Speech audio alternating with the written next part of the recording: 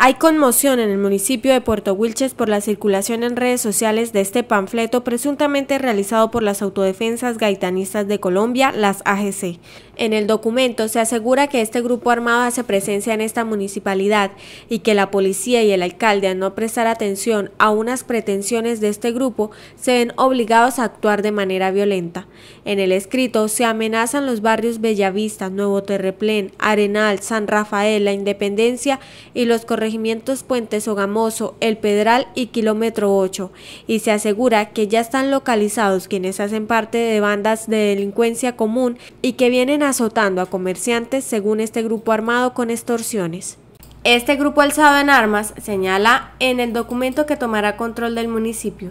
Sobre esto, el coronel Pedro Bonilla, comandante encargado del Departamento de Policía del Magdalena Medio, aseguró que se investiga la veracidad de este documento y envió un parte de tranquilidad a la comunidad de Puerto Wilches. Este panfleto ya se está verificando por parte de nuestro grupo de inteligencia, igualmente por nuestro grupo de policía judicial. Estamos haciendo las verificaciones, cotejando también el documento pues con algunos eh, otros que han eh, salido anteriormente, con el ánimo de verificar pues lógicamente su autenticidad, eh, no sin antes decir pues que esto de todas formas sí no, estamos trabajando eh, en Puerto Wilches especialmente, pues de que donde hace mención, estamos trabajando también con el señor alcalde, en la cual pues trabajando hacia la protección de él mismo también, pero también haciendo unas actividades en Puerto Wilches y que vamos a realizar también próximamente intervenciones hacia Puerto Wilches, Puente Sogamoso, que es un punto también estratégico y que estamos atentos a recibir también la información por parte de la ciudadanía. Decirle a la comunidad que el factor importante aquí es la información que ellos nos suministren.